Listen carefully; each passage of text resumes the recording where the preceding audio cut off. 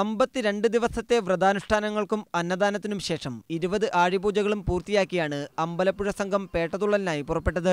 എരുമേലി പേട്ടതുള്ളലിൽ എഴുന്നള്ളിക്കുന്ന സ്വർണത്തിടമ്പ് ക്ഷേത്രം മേൽശാന്തി കേശവൻ നമ്പൂതിരി സമൂഹ പെരിയോന് കൈമാറി. വിവിധ ക്ഷേത്രങ്ങളിലെ സ്വീകരണങ്ങൾക്കും മണിമലക്കാവ് ദേവീക്ഷേത്രത്തിലെ ആഴിപൂജയ്ക്കും ശേഷം പത്തിന് സംഘം എരുമേലിയിലെത്തും. പതിനൊന്നിനാണ് മതമൈത്രിക്ക് പേരുകേട്ട അമ്പലപ്പുഴക്കാരുടെ പേട്ടതുള്ളൽ. കൊച്ചമ്പലത്തിൽ നിന്നും ആരംഭിക്കുന്ന പേട്ടതുള്ളൽ വാവരുപള്ളിയിലെ പ്രതിനിധിയോടും കൂടി വലിയമ്പലത്തിലേക്ക് കയറും.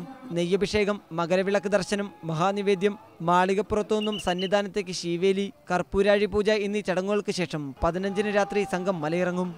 India vision Alappuzha.